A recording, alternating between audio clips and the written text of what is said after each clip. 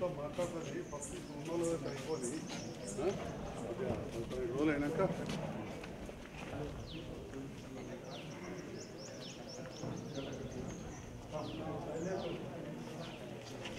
నువ్వు పట్టుకో ఇంకేదో పుడదాం ఇక్కడ చూడు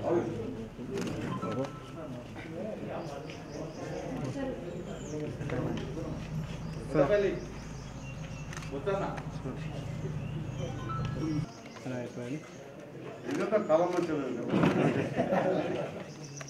ఇక్కడ సర్పంచ్ జోడి తిరగలేదు పట్టుకో ఇటు చూడు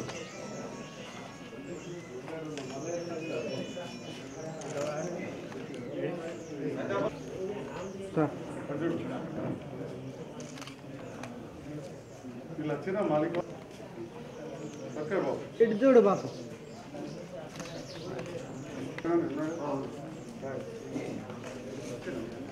ఇక్కడ జోయ్ సీను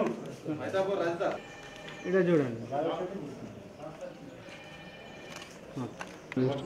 రైట్ ఇటు చూడు సర్పంచ్ సార్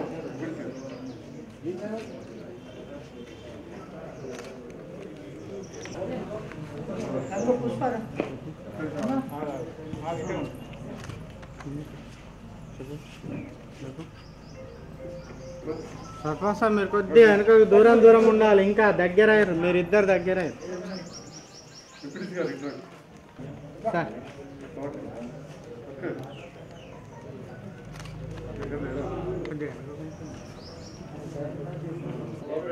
రాయకల్ మండలంలోని వివిధ గ్రామాలకు చెందిన పద్దెనిమిది మంది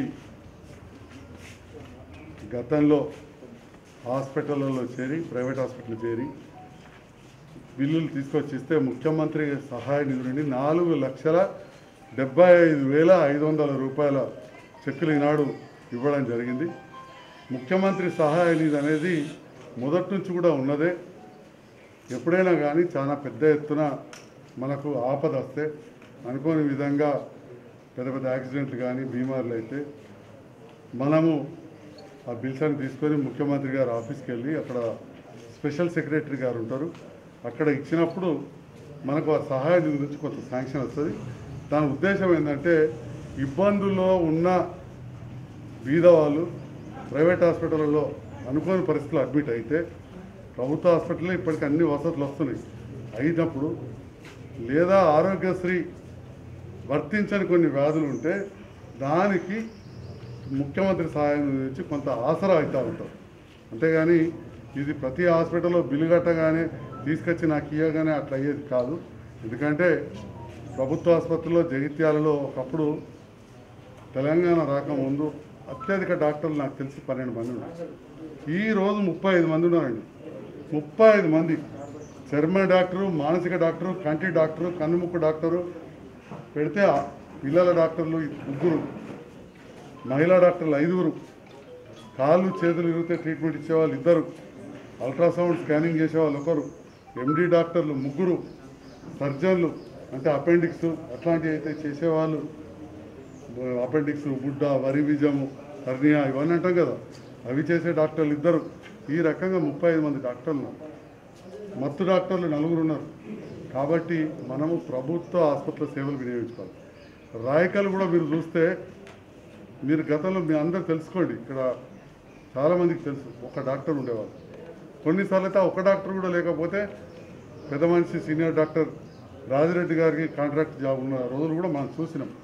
ఆ సమయంలో నేను కూడా ఒక రోటరీ క్లబ్ మెంబర్గా వచ్చి ఓ వీల్ చైర్ను అస్తమా వస్తే గాలి పీల్చుకునే మిషన్ ఇచ్చిపోయింది రాజిరెడ్డి సార్ ఉన్నప్పుడు.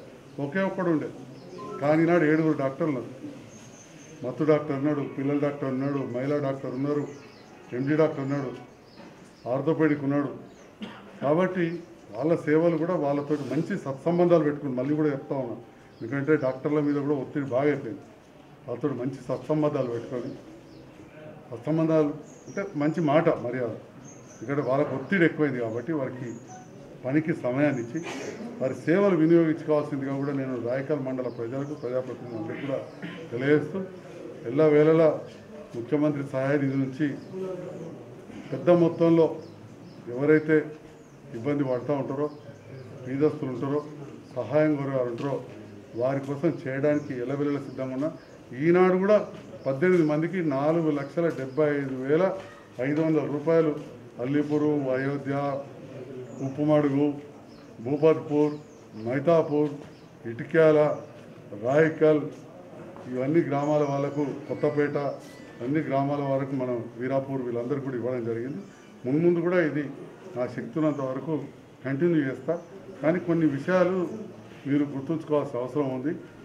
తెలంగాణ రాష్ట్ర ప్రభుత్వం వచ్చిన తర్వాత ఎక్కువ హాస్పిటల్కి ఆరోగ్యశ్రీ ఇచ్చింది.